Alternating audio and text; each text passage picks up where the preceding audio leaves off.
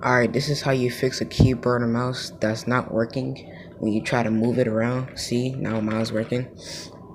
All you have to do is pull this power thing that's hooked up to your Xbox and it should work after that.